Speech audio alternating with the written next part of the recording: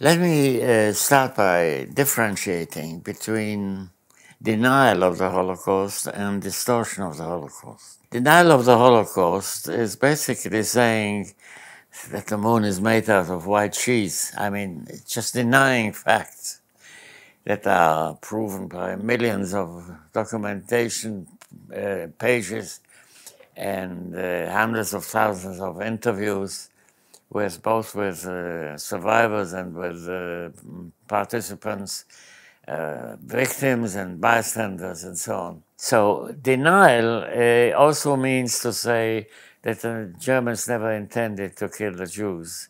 Denial also means to say that uh, there were not millions of victims, but uh, a few thousand who died during the war, like everybody else died during the war because of the war. That's denial. In the West, the denial has become a marginal issue, except in America. In America, there is still uh, uh, denial by uh, right wing uh, racists, white racists, who accuse the Jews of inventing the Holocaust and whose real aim is not only the Jews, but also black people and uh, generally democratic structures. But that's a marginal issue, basically. The reason why it has become a mar marginal issue is because in 1999 and 2000, early 2000, in London there was a trial of uh, a very famous uh, academic, Jewish academic, American academic, her name is Deborah Lipstadt. She wrote in one of her books that a well known English Holocaust denier, uh, David Irving, was an anti Semite and he invented things and uh, he denied the Holocaust and so on. And Irving uh, accused her of, the, of uh, false accusation against him and uh, this libel suit that he brought was held in London in front of a British court. Now, the lawyers of uh, Deborah Lipstadt decided not to put her on the stand. She was just sitting there. She was the accused because it was a libel suit against her. Instead of calling witnesses, uh, the lawyers called experts, historians, all of them non-Jews. So that the uh, David Irving couldn't accuse uh, these people of being uh, biased because they were Jewish. These were non-Jewish experts. Chief of them was uh, perhaps uh, Christopher Browning from the United States, but there were several others. And in a long session of long sessions of interview of statements at the court, David Irving tried to show that the Holocaust never happened. And instead of uh, arguing with him, these experts simply uh, showed the documentation. And this was perfectly clear. At the end of the trial, the British judge, Lord Justice Gray, decided that uh, Irving was a liar, not a historian, that he was an anti-Semite, that he, that he was totally unreliable, and that the Holocaust was a fact that could not be denied. This judgment, statement, uh, actually did away in the West with the denial of the Holocaust to a very large extent. Now, in, in the West, then, we have the uh, work against the denial by legal means in uh, the Arab world, in the Muslim world, this is not the case. In the Muslim world, denial of the Holocaust was and to a, to a large extent still is a uh, sort of thing that is common, consensual with the people who believe in, in these things. The intellectual elite in the Islamic world tended to say that the Holocaust never happened, was invented by the Jews in order to squeeze money from poor Germany to, to, to, to establish a Jewish state in Palestine. Uh, now, this has been going on for a long time. But the denial of the Holocaust has now been challenged in the Muslim world.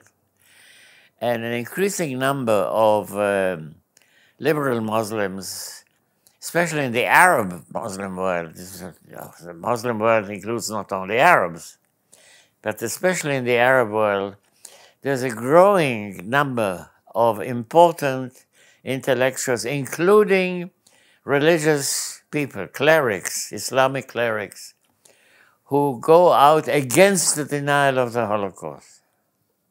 So in, there is a movement, a positive movement, one could say, to meet and combat the denial of the Holocaust in the Arab and Muslim world.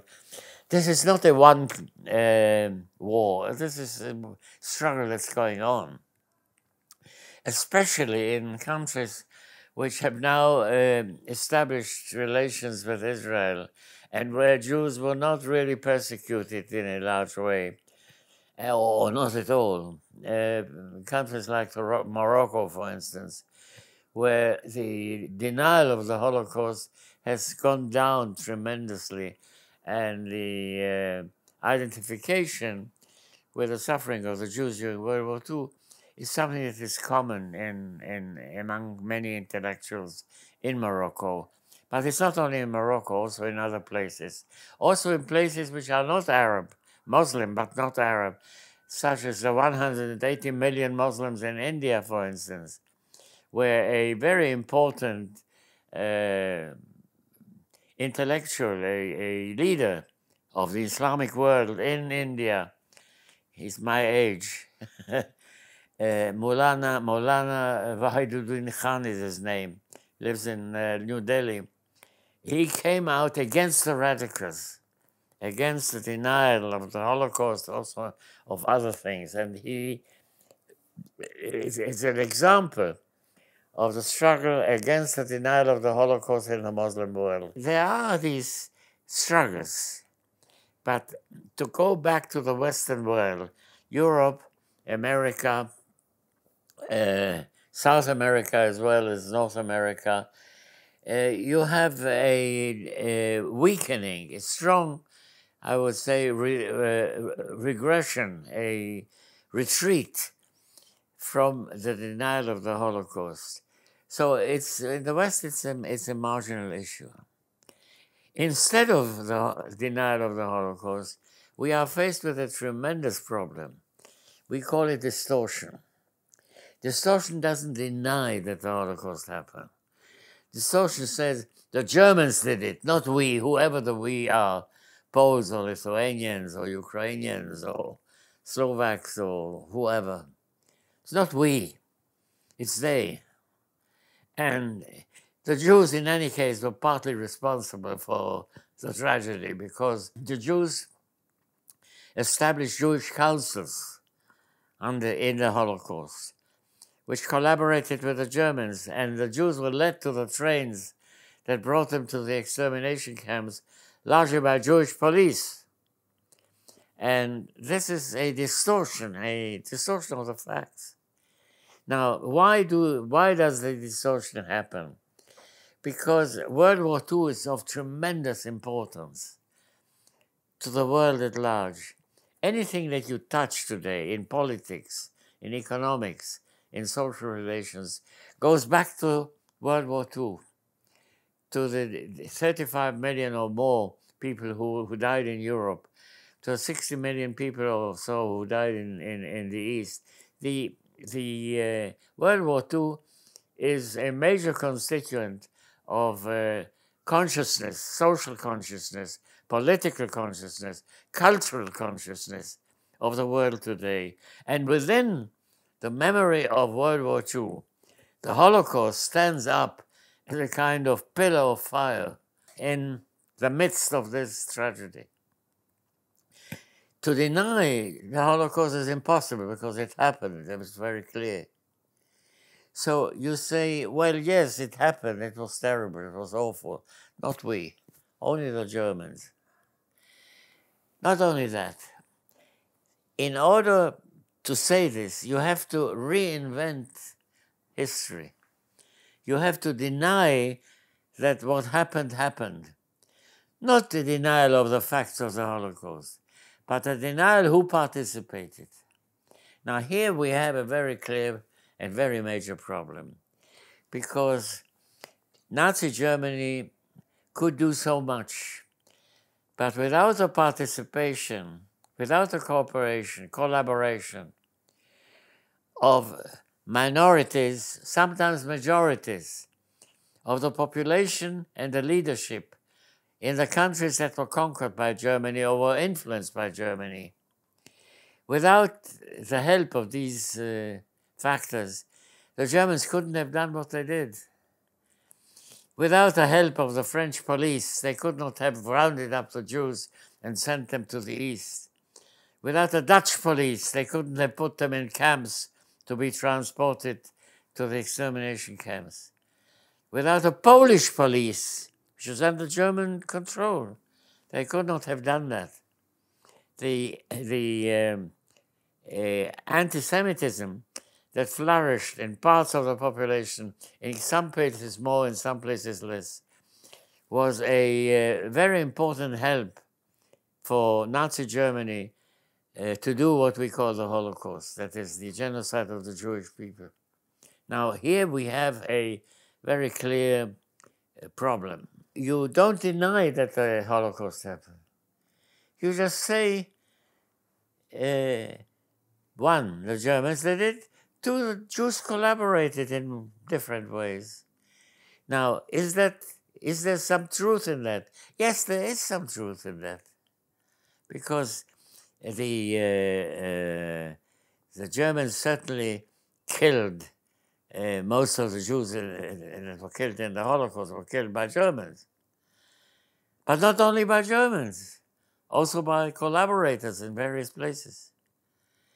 You have the fact that Jewish police did help the Germans to, to push the Jews into the trains to the extermination camps. But if they didn't do it, they would be killed. Polish police collaborated with the Germans.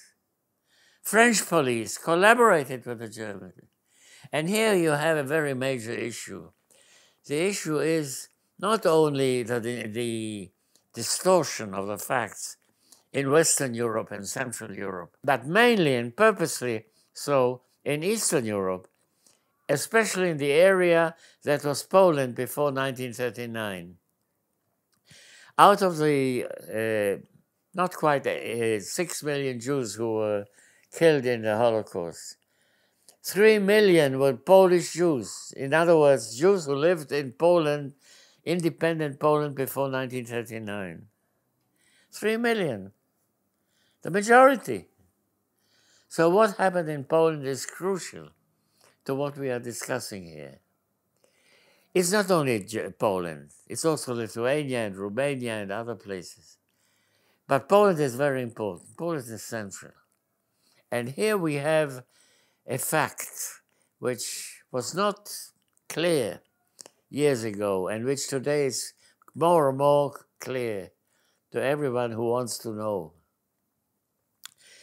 Polish historians, liberal Polish historians, not Jews, Poles, found detailed accounts of the 5 to 6% of the Jews who escaped being transported to the extermination camps in Polish ghettos. About 5 6%, perhaps some 200,000, perhaps a bit more. We don't know the exact figures. Impossible to find out the exact figures. Now, where did these people go? They could hide only ultimately, well, obviously in uh, hiding places in the ghettos, but they couldn't maintain themselves there. They had to hide amongst the Polish population. Now, the Polish population was anti Semitic in the majority, not all of them, in the majority. And Polish historians have found in detailed research very detailed research, that roughly about 200,000 Jews who tried to escape the Nazi German threat, were killed. Almost all of them, about 40,000 40, survived, but 200,000, about 200,000, were delivered to the Germans to be killed, or were killed by Polish peasants, or were handed over to the Polish police who handed them over to the Germans to be killed. This is participation, active participation of parts, large parts of the Polish population. And the documentation is very clear, including the documentation of the Polish underground, the armed underground. The armed underground did not help the Jews. Uh, after all, the Jews were transported in large parts, not all of them. I mean, two million Jews were killed by bullets on, in, in ghettos and so on, and led out of the ghettos into pits. But those who were transported to the extermination camps were transported by rail, by railways, in Poland and out of Poland into Poland, into Poland, from the West, from Western Europe, from Southern Europe, and so on. Not one case of a derailment of a transportation train with Jews by any of the underground, certainly not by the Polish underground, but not by any underground either. There was one railway that was derailed, one train that was derailed in Belgium it was derailed by a Jewish underground body, a group of Jews, armed Jews, who derailed a train, and hundreds of Jews managed to escape. That was the only case. There was no help by anyone. There was no part, no uh, attempt by undergrounds in France, Belgium, Slovakia, Poland, anywhere, Lithuania, to uh, derail the trains that were leading the Jews, and they knew where the trains were going. In Poland, certainly they knew. They had information. They knew that the trains were arriving at the place and without the people, and people, and then went out without the people who had been on them. That the people were killed in those centers, and there was no attempt none whatsoever, to derail the trains. Now that is hidden. People deny it. This is true of the present Polish government to a large extent.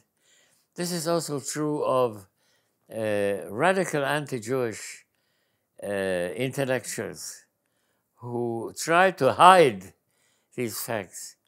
And what one has to emphasize all the time is that the facts, as they actually happened, were found out by liberal Polish historians, not by Jews, not by Israelis. And the uh, distortion that happens there is not only a distortion of Jewish memory, but a distortion of memory generally, a distortion of European culture of a liberal approach to society and history. And uh, IHRA is devoted, in fact, to a liberal interpretation because IHRA wants openness, it wants education, it wants remembrance, it wants research. IHRA is against the distortion because it distorts not only Jewish history, it distorts general history, not only Jewish society is distorted, but general society is distorted. We give you an example, a very clear example. The uh, World War II was, uh, as people learn in schools and so on, the result of a Nazi initiative. Nazi Germany wanted a war. Why did they want a war? They were not suffering from any economic disadvantages because they had overcome the economic crisis. Uh, nobody was threatening Nazi Germany. Nazi Germany was threatening others. And we have a document by Hitler, the only memorandum Hitler wrote or dictated himself from August 1936, in which he says very clearly to his number two, Hermann Goering, he says, You have to prepare Germany for war because our main enemy is Bolshevism. And the only aim of Bolshevism is to have Jews control the world. That's the only purpose of Bolshevism. In other words, Bolshevism is a Jewish invention. It's run by Jews. It wants to establish Jewish control over the world. Therefore, we want to have a war. So you have anti Semitism as a major factor in, in the outbreak of World War II. And World War II, in Europe alone, caused some over 35 million casualties. Of these, a few million were Jews. But at least 29 million, and probably many more, were non Jews. And these non Jews died to a large extent because of anti Semitism. Now, when you deny that, you distort that, you hide that. This is distortion. And this distortion, as I say just now, is a distortion not just of Jewish history, because the Jews are, after all, a very small minority in the world. Today, some 15 million out of 7.5 billion people in the world. It is a danger to society generally because it creates a world that never was. And that is really an analysis of distortion. Distortion creates a uh, useful past. What is a useful past? A past that is useful for the nationalists, for the ones who want to uh, continue, in actual fact, anti Semitic policies. And this idea of a useful past is not only in Poland, it's in other places as well. And the distortion takes different forms. I concentrated on Poland, but Poland is just one example, although a very major one. But for instance, in Hungary, the Germans controlled Hungary from, from March 1944 on. But the people who were engaged in persecuting Jews were a small group of uh, Gestapo and SS people, about 150 people under the leadership of uh, Adolf Eichmann. And they could not act without the help of the local authorities, of the gendarmes, the policemen, of the uh, various uh, officials of the ministries, and without the collaboration of large parts of the population. And here you have another point both in Poland and in Lithuania and in Hungary and in some other places. What was left behind? What was left behind was the property of the Jews. And the few people who survived when they came back, they were a threat to the people who had uh, taken their property because they wanted their property back. And the people who took the property, whether of the people who survived or the large, very large number who did not survive, they wanted to keep the property. It was a question of greed. It was a question of, of having the, uh, the, the clothes, the, the dwelling places, the uh, equipment, the factories, the shops, and so on and so forth, taken by the non Jewish people who enjoyed the fact that the Jews were destroyed. And when you deny that, it's a distortion of the past. When you uh, justify that in some way, it's a distortion of the past. Again, not just the Jews are hit by this distortion, because the Jews are, after all, as, as I said just now, a very tiny minority.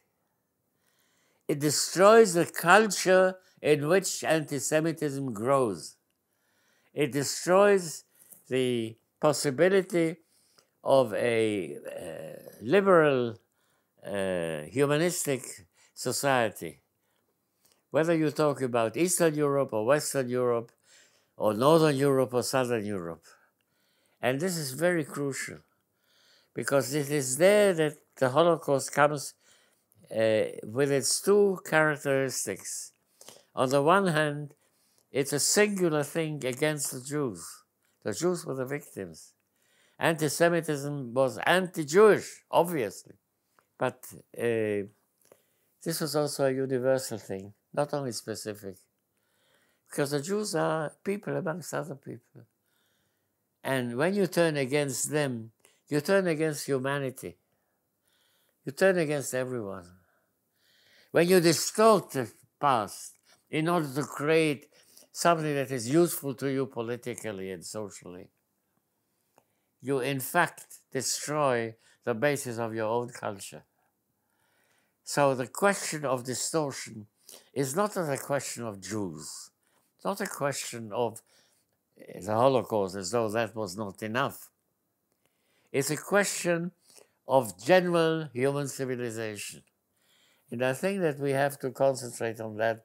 We have to say very clearly to all, not just to the 35 members, governments that are members of IHRA at the moment. We have to tell the world what we are dealing with is a Jewish thing, yes. But IHRA is not a Jewish organization. IHRA is a general organization. And the vast majority of the IHRA experts and so on are not Jews. We are dealing with a general human problem. The Jews are people and they are the victims.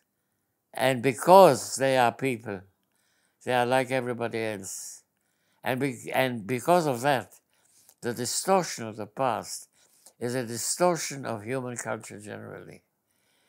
So I think that this is a question of distortion. It's not only that. When you distort the past, you also destroy your own culture. Because it means that you cannot face the problems of your culture. It means that you hide it. It means that you want to do away with it cover it over. You can't cover it over. Ultimately, it comes up.